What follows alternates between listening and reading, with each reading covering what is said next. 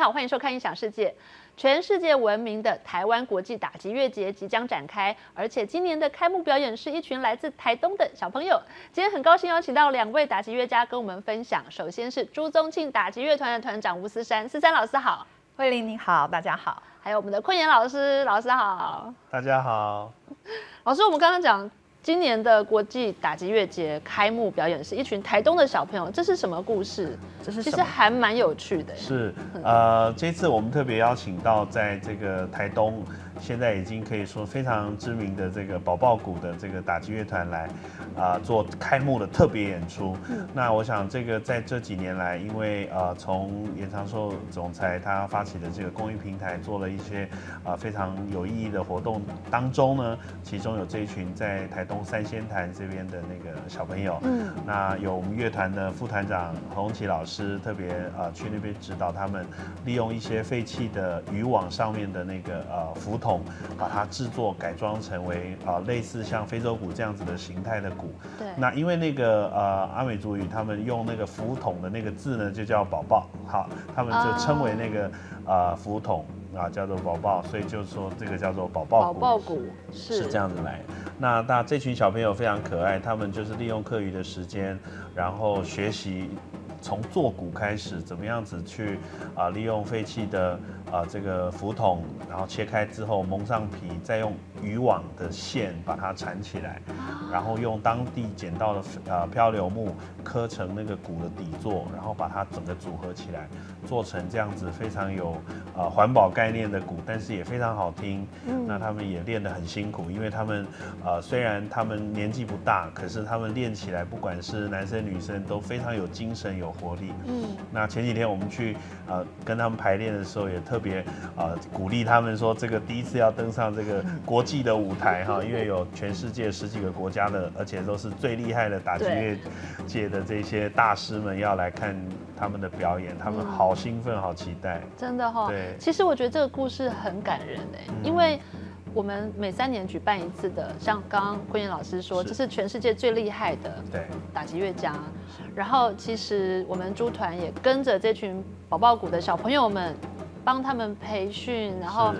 每个礼拜去飞到台东去帮他们上课。对，然后他们平均年龄其实也不大，然后他们可以在。这个国际的舞台上演出，对他们来说是一个很大的鼓舞。对这个意义，我觉得对他们是一辈子都非常非常难忘的。那很辛苦的是阿奇老师，他特别花了非常多的时间，不管是从基础开始教，或者是编排曲子。那这一次会演出的，还有阿奇老师的作品创作，为他们啊这个特别创作了一个叫做《三仙台之浪》哈，就是用他们的呃当地的一些呃阿奇老师的这个灵感，譬如说他们那边风景很漂亮之外。外呢，他们的部落前面就有很多那个消波块，是，所以当浪比较大的时候，打到那个消波块里面的声音会有产生很大的共鸣，所以像那种浪的声音，还有石头，因为他们那边不是沙滩，是那种小石头的沿岸，嗯，所以那个啊涨退潮之间会有那种石头哇啦哇啦那种石头滚动的声音，好像那些东西，哎，把它融入成创作，他们自己也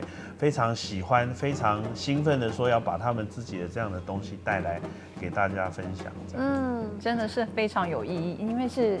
国际级的活动，然后代表台湾精神。因为我觉得打鼓，就像你说，每次看完呃打击乐的表演，都会很振奋精神。因为因为打鼓其实并我觉得啦，并不是技巧的展现而已。因为就像这一群孩子，他们因为打鼓改变了他们的视野，改变他们的生活，而且他们。呃，部落的这个未来也因因为他们而有所改变，我觉得真的是非常有意义。然后能够把这样子有意义的呃故事，能够呈现在所有的集乐家面前。我刚刚跟坤元老师聊天，是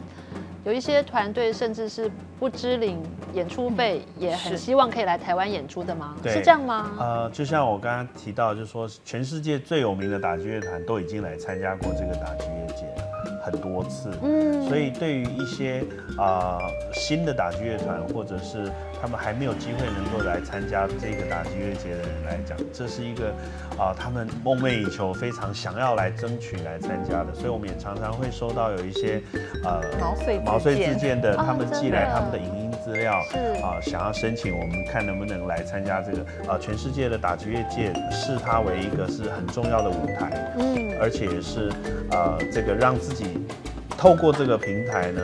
能够到其他国家去的一个很重要的一个。呃，说是跳板也好，平台也好，是，因为他来到这个舞台上之后，你就可以被全世界最顶尖的打击乐节啊看到，对，那所以很多人也因为这样子，后来也的确欧洲的团体来了参加过之后，认识了美国的这个打击乐的协会的总裁之后，引荐他们到美国去演出，也很多这样子的机会。是，我们刚刚听思山老师还有坤元老师讲这个宝宝鼓，嗯，其实亚洲也有很多很棒的。呃，打击乐团是，我们这次也邀请了一个叫做马来西亚的手击团，对，好特别的名字叫手集团。手集团，嗯，其实手集团的这也是一个故事。对，想当年就是中金打击乐团第二次去马来西亚演出的时候，他们的团长就来看了朱团的表演之后。然后他们的那位团长，他就当时还很年轻，刚毕业没有多久。那他二十来岁，很有心、很有热情的，他就觉得自己要来组一个这样子的团啊。那所以他也经过了这将近快二十年的努力，那时候应该一九九二年还大概那个时候。是。然后经过了这么多年年的耕耘跟努力，他在马来西亚跟新加坡就东南亚地区，现在已经非常有知名度。看到他们的东西也已经现在非常非常成熟了，所以我们当跟他们邀请说，那希望来参加，他们兴奋的不得了，因为对他们来讲是从无到有，从看了驻团的演出到创立了这个团，到现在真的可以自己登上这个舞台来演出，他们从上到下的所有团员都非常兴奋的在在积极的排练。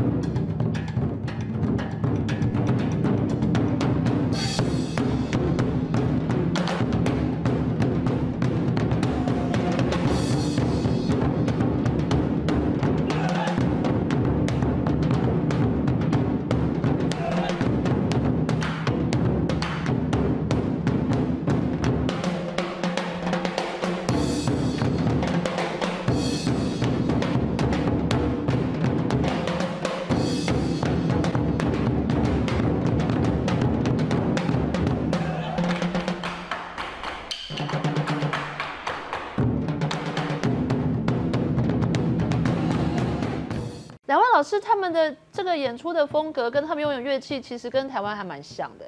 对他们是在马来西亚的华人，所以他其实有节目的一部分是像我们广东啊狮鼓的这种，可是他其实呃跟我们呃传统的狮鼓已经又不太一样了，它其实结合的还蛮现代的。那他另外有很多节目是有啊马来的乐器，还有是像甘美朗的乐器，就是印尼的这些乐器，所以他把整个东南亚的文化，包括华人的马来跟印尼的文化融合的相当有特色。对，所以他们从当年仰望看猪团，然后现在被猪团邀请来台湾，很开心吧？当然，当然，我觉得他们对他们来讲是一个很大的，呃，一个成就感跟满足。